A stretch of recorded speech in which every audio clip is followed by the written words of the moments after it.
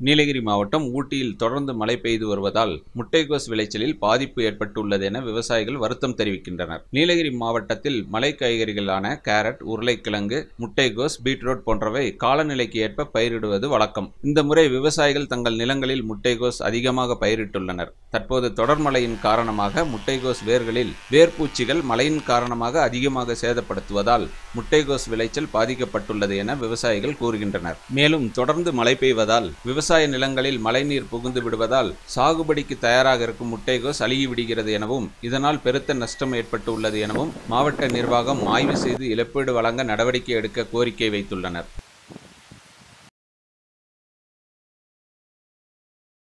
Hello வணக்கங்க. என் பேர் வந்து திருமூர்த்தி. நான் வந்து ஒரு இருபது வருஷமாக இங்கே விவசாயம் பண்ணிகிட்ருக்கேன் இப்போ பார்த்தீங்கன்னா ஒரு வாரமாக ரொம்ப அதிகப்படியான மழை பெஞ்சிருக்குது. போனப்போ கூட கேரட் விட்டோம். அதனால் ரொம்ப டேமேஜ் ஆகி அதுவும் போயிடுச்சு இப்போ ரெண்டாவது பார்த்தீங்கன்னா முட்டைக்கோஸ் போட்டிருக்கோம். ஃபுல்லாகவே முட்டைக்கோஸ் போட்டிருக்கோம். இப்போ முட்டைக்கோஸ் போட்டு என்ன நிலமைன்னு பார்த்தீங்கன்னா ஒரு வாரமாக கண்டினியூவாக மழை பேஞ்சிக்கிட்டே இருக்குது. பேஞ்சனால என்ன ஆகுதுன்னா அப்படியே ப்ளூ ஆகி பூராமே வேர்பூச்சி ஆகிட்டு இருக்குது இந்த வேர்பூச்சி கண்ட்ரோல் பண்ணவே முடியல. ஏன்னா மழை வந்து ரொம்ப ஜாஸ்தி பெய்யுது.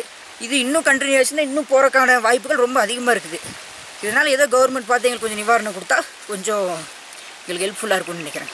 நீலகிரி மாவட்ட தகவல்களை உடனுக்குடன் தெரிந்து கொள்ள ராகம் டிவி யூடியூப் பக்கத்தை சப்ஸ்கிரைப் செய்யுங்கள்.